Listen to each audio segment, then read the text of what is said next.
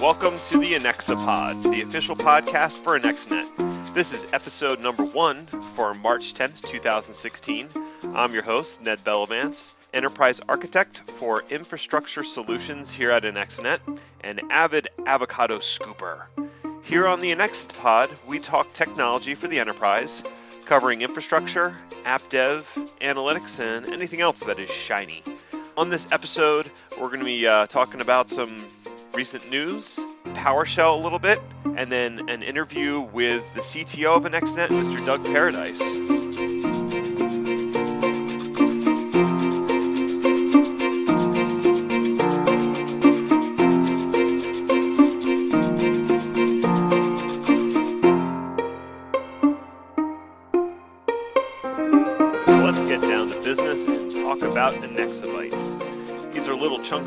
News that I've gathered over the last couple weeks. So the first one is a big announcement that just came out. Microsoft loves Linux SQL Edition. You may have heard that Microsoft has decided that they love Linux, and they've started to support it in many different ways. That includes support for desired state configuration, the release of .NET Core, which is an open source version of .NET that can run on Linux. First, Ubuntu and now Red Hat Enterprise Linux are both supported on Azure. There's an agent to um, monitor Linux on SCOM and in OMS, and there's also an agent to back up Linux in DPM. Microsoft is really doing their best to make Linux uh, a focus for their latest set of features. With that in mind, the SQL team has put up a blog post announcing not only the release of uh, release candidate 0 for SQL 2016, but also the coming support of SQL on Linux. Hell froze over, madness, cats and dogs living together. It's a private preview today. Hopefully, availability is going to be mid 2017 for the general public. And the first two OSs that they mentioned by name in the blog post, so I'm assuming are the first two they're going to support, are Red Hat and Ubuntu. Hey, have you heard of this crazy thing called hyperconverged infrastructure appliances? You probably have. Well, Cisco's thrown their hat in with their new HyperFlex platform. I first heard about it on the Register, uh, which was accidentally posted early and quickly pulled down. It integrates with Cisco's UCS console and servers. It's using the SpringPath data platform and it integrates with ACI, which is their application centric infrastructure, uh, sort of their software defined networking. It's going to be fighting against a lot of other HCIAs in the marketplace. Uh, you've already got EMC announcing VxRail, HP's got their hyperconverged appliance device. Uh, you've got Nutanix, which is selling like crazy, and you've also got SimpliVity, which up until now was Cisco's partner of choice to do hyperconverged. So I'm not sure what's going to happen with that relationship. But uh, as you can clearly see from all these names, uh, hyperconverged is here to stay and probably just going to continue to grow over the next couple years. Next story is Apple's encryption fight with the FBI continues. You can't have avoided this story. Apple has been asked to decrypt the contents of an iPhone that belonged to a dead terrorist. So the argument goes that they no longer have any rights to the data, so it should be uh, easy to decrypt. However, in order to decrypt it, Apple would have to write special one time use software to decrypt the information on the phone.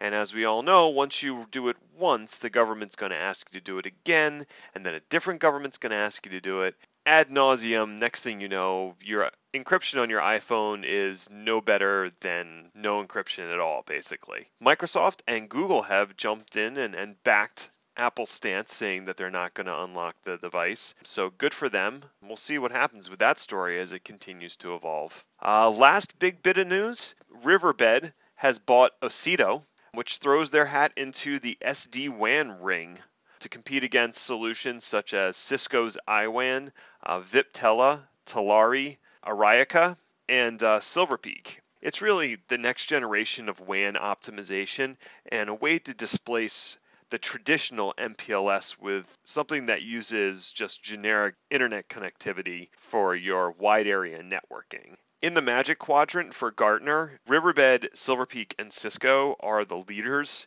in WAN optimization. and they don't actually have a separate magic quadrant for SD WAN today. There probably will be one in the not too distant future. Basically, the whole idea behind SD WAN is companies that have a traditional MPLS network through a provider, they pay a lot for those dedicated circuits and, you know, they're not getting the most speed on those. Maybe you've got a 5 meg or a 20 meg pipe on your MPLS line, but then you're looking at your internet line and you've got 100 meg, 200 meg for uh, you know a fraction of the price. So why can't I use the cheaper generic internet connection for connectivity between all my sites? And the answer is, you know, reliability. You're sharing bandwidth on a generic internet line instead of getting dedicated bandwidth uh, and a dedicated circuit. So there's definitely reasons for the traditional MPLS approach. The problem is it's very expensive you have no visibility into what's happening inside the MPLS cloud.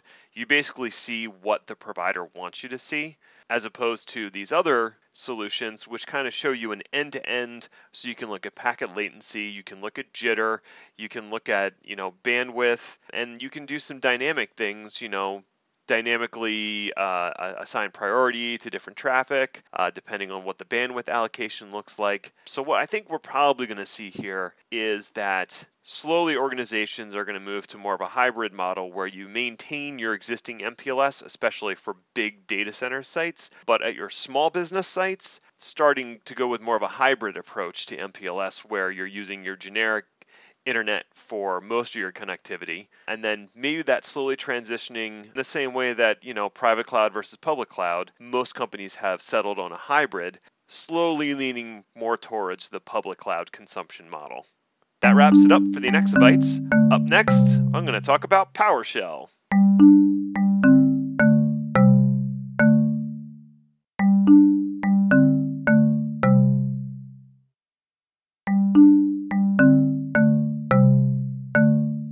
At this point in the podcast, I'm going to be talking about Out of the Darkness, uh, emerging technologies. And my first topic you might not think of as an emerging technology, but it's a technology that continues to emerge and loom bigger and bigger on the horizon, and that is PowerShell. For those of you who aren't familiar with PowerShell, it is a scripting shell created by Microsoft based on the Monad Manifesto that was published by Jeffrey Snover. It was first gained real traction with the release of Exchange 2007, which included a huge batch of PowerShell commandlets that could be leveraged to manage Exchange from the command line, which was something that was sorely needed by exchange admins, especially in larger organizations, because prior to that, there wasn't necessarily a great way to perform bulk actions that weren't built into the GUI. And that's really kind of how PowerShell started gaining more and more traction as new modules were written for PowerShell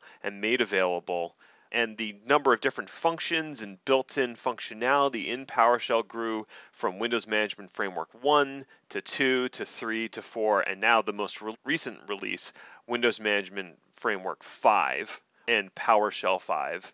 The whole point for me has really been there's things that you may want to do that Microsoft has not written a GUI for. And you know, one thing that Microsoft admins always benefited from was pretty good GUI tools to get things done. But especially when you get to larger organizations, larger data sets, or more complicated tasks, finding a way to automate those tasks usually meant you had to write a convoluted batch script or you had to write something in VB script that was pretty ugly and not scalable. And it was pretty inconsistent across all the different platforms. So now PowerShell provides the ability to have a consistent platform for creating automation and tying into a whole bunch of different Microsoft products.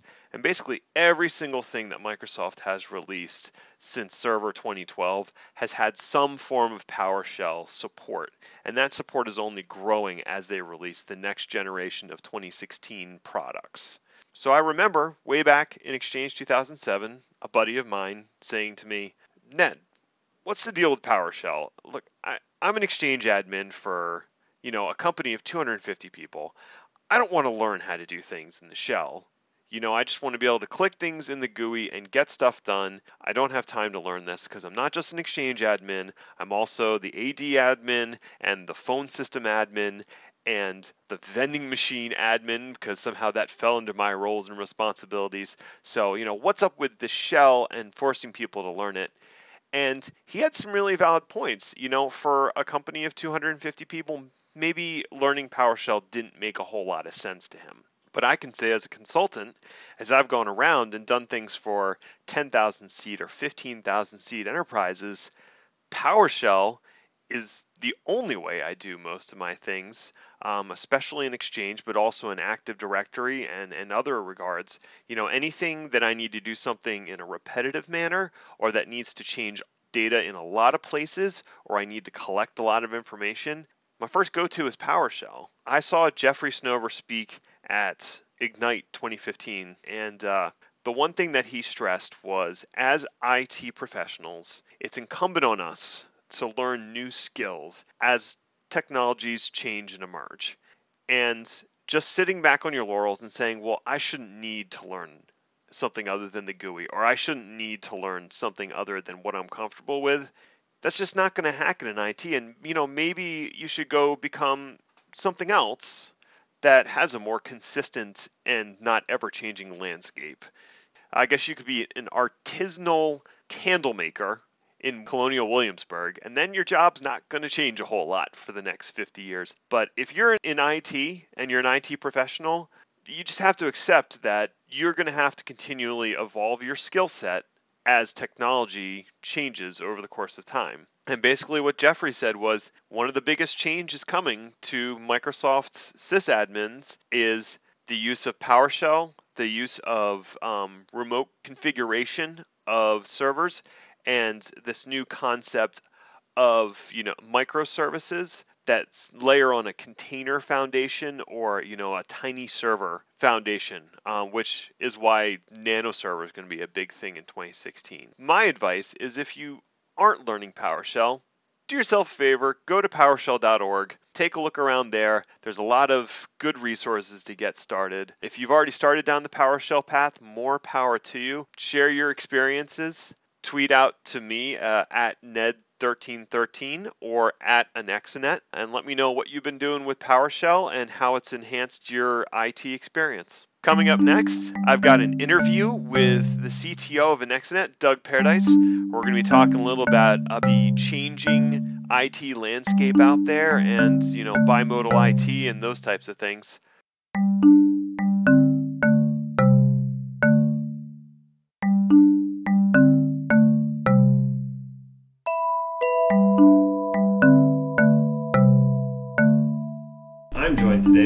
CTO and EVP of Anexinet, Doug Paradis. How you doing today, Doug? I'm great, Ned. How are you doing today? Good, good. So why don't you tell us a little bit about yourself and what you focus on? I've been with Anexinet probably over 10 years. Um, my role here is CTO, which has me doing a lot of different things here, but really interacting with all of our technology practices across the board uh, working with our internal delivery teams, helping them craft the technology solutions that we take out to our customers, working with our sales and marketing teams and helping us represent that suite of solutions out to our customers, and then also working with our partners and the rest of the community in understanding what Anexinet does. So it's a it's a mix of those things, and having to work across all those areas, I'm probably knowledgeable of all and master of none. But you know, I'm uh, I uh, try to stay at a reasonable depth on sort of all the, all the technologies that, that we take out to market. Yeah, no, I know the feeling. So, as an IT consultant, I've been almost entirely focused on technology and designing and delivering solutions, but there's a whole strategy and culture component to IT as well. Can you talk a little bit about the shift that you see in IT today?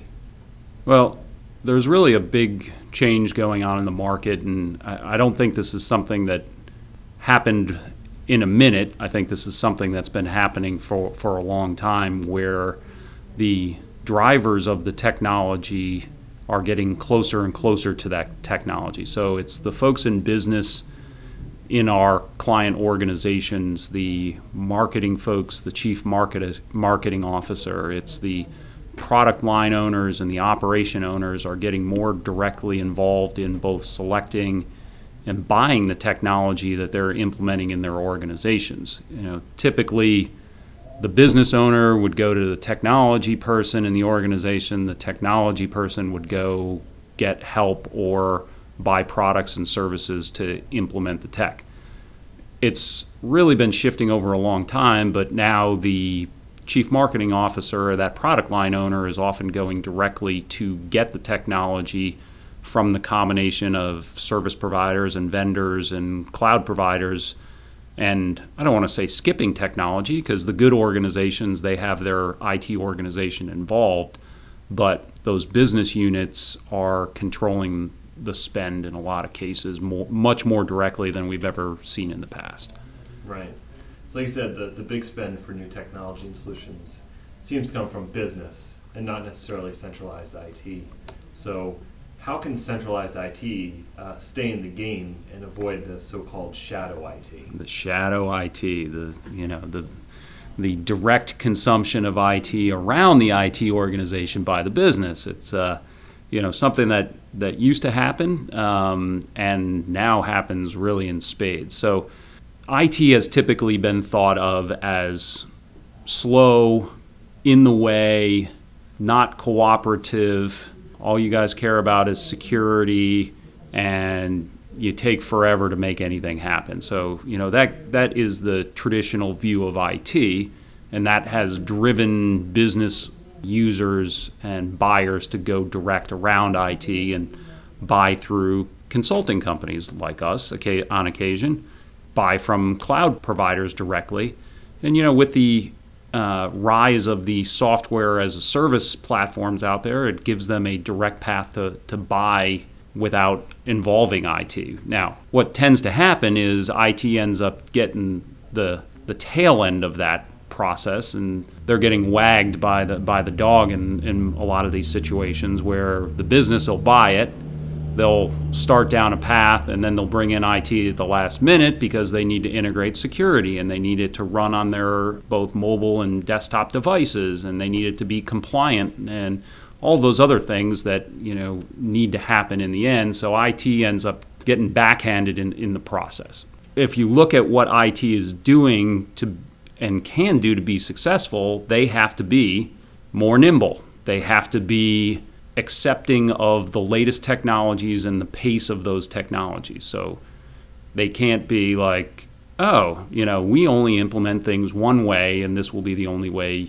uh, we will help you work with technology because you know that'll directly drive them around IT. They need to have preferred platforms and ways to take on new platforms. I think having the IT department be a facilitator and an integrator of all these latest and greatest technologies as opposed to a controller of the technology is what's going to make them successful in being being a partner with the business. And if they're doing that hand in hand with the business as opposed to trying to be, you know, the sole uh, intermediary between the business and the technology, they'll they'll have much deeper success and be a partner. The reality is a lot of these technologies cloud based services, uh, mobile technology, they can allow IT to focus more on the business applications out there and focus less on what I'll call the commodity IT services in the market. So I've been hearing the term bimodal IT a lot. Is that kind of what you consider the bimodal model? Like still have the legacy component, but also embrace these newer technologies? Yes, and many organizations for a long time are going to be bimodal. Hopefully, not bipolar uh, in it, but it's a it's a model that's going to exist for a long time. There are going to be many internal needs as it uh, relates to leg. I'll call it legacy IT, and that can be true legacy, you know, old mainframe technology or modern mainframe technology. It's going to relate to internal infrastructure, but operating that internal infrastructure in a hyper converged or at least a converged mode and private cloud type operations. It's supporting the network in your internal environment and how that integrates with these cloud solutions. And very importantly, obviously, the security of technology and intellectual property in, in your organization. So you have to do all that. And at the same time, have a seamless integration to the other mode, which is the, the modern technologies, whether it be public cloud infrastructure, public cloud uh, used for hosting custom applications, or whether it's software as a service. You know, really being integrators of those technologies and making it easy for the business to utilize those, but do it in a way that makes it compliant and secure and integrate with that you know, we'll call it the legacy, the legacy environment as well. So rather than being a roadblock to new developments, instead have your IT department be the champion of new technologies. Yes, it's walking it's walking hand in hand with the business mm-hmm. into the next generation of technology. The fastest way to be disintermediated and for the business to drive right around IT is to be that roadblock. And it's easier than ever for the business to go around IT. But at the same time, if you do it well and you partner with the business in that process and you let them understand, you know, why it's important to do that, how that protects the organization, how that supports security for the organization, how that supports buying power for the organization, how that supports consistency for the organization, all of the types of things that we know are critically important that the IT organization can do. If you work with your, your business to do that, you're gonna you're gonna have uh, infinitely more success in getting out there and doing it. Another thing that I hear a lot is DevOps and Agile, and I know Agile was mostly applied to software development before as an alternative to the waterfall technique. Have you seen the Agile methodology being applied to other areas of IT. Absolutely. Agile is an approach that puts ownership of the solution in the hands of the business owners that will eventually be the beneficiaries of the technology or the project. Agile, as a general concept, has been started mostly in software development, but is now being used in business intelligence and analytics solutions. It's being used in evolving infrastructure. So it's being used to solve all kinds of projects, whereas originally it was really sort of a software development approach. So the types of projects have really morphed across the spectrum. The nice thing is that now there are very complementary core technology solutions that allow agile based approaches to be even more successful and operate faster. You mentioned DevOps in particular. If you think about how agile works, you have a defined backlog of elements of your project. You organize those backlog elements into a sprint. You execute on a sprint and you roll those that feature set out as part of your controlled segments of your project if you want to simplify it that way. Now you have the ability to execute on those things with DevOps technologies in a much more rapid and automated fashion. So you can control technology environments, you can control core infrastructure, you can control software deployments, and you can integrate all these things at the same time in an automated fashion using DevOps technology. Previously, Agile, when it got to the, all right, let's move this from dev to QA to staging to production, and also, by the way, roll out to customer support and disaster recovery, that was a very manual process. So the, the tools and technologies that are in the DevOps space now let that progression of technology in these agile sprints to happen much more easily, much more quickly, better, stronger, faster, I guess, you know, sort of the. That's a good summary. So, and you heard it here. It's a changing landscape out there, and IT professionals really need to keep up. If you don't adapt and change your skill set, you might get left behind in the metaphorical dust. The people that I've worked with in the past that are the, the best in the industry that we work in are always staying on the forefront of the technology in the space. And you know, whether that was the move from, uh, not to get super old school here, but you know, from mainframe technologies to distributed systems, from distributed systems to client server solutions, from client server solutions to internet-based technologies, from internet-based technologies to you know, mobile and consumer technologies, from that to you know the point that we're at now where you know, there are going to be billions and billions of connected devices that are all you know operating on our networks around the globe. You know, it, it's really a, a continuous involvement and the folks that do the best are the ones that stay on the latest edge of that and adopting cloud-based solutions, adopting mobile technologies, adopting DevOps expertise, adopting agile from your project methodology. These are all things that you know are on the forefront right now and the, the folks that, that do that successfully and are going to be in the best position to deliver on their own careers and help their employers and help their customers be successful out in the market. Last question, and I don't want you to think too hard about this. Just say the first answer that pops into your head. What's your favorite 80s movie? Stripes. Okay. Yes, I would say without a doubt my favorite 80s movie would be Stripes. Great pick it is a little crazy. You go back and look at some of those movies, and very few movies operated at the same. Yeah, it's a good analogy to technology. If you go back and look at those movies, they all operate so slowly, and it is difficult with the pace that we're used to today to watch one of those movies because they're too slow. So, agreed. Great. Well, thank you, Doug, for uh, taking the time to join and talk to us. Any last words you want to say? Well, uh, I guess the last words on the on the topics that we hit on today are, you know, embrace the change in technology, adopt the modern approaches, the modern technology that, that's going on in the marketplace. It's it's the best for technologists and to maintain their, their career and their edge. It's the continuous wave that, that we should all be in, in in the marketplace. Great, you heard it. Embrace the change, everyone. Thanks again, Doug.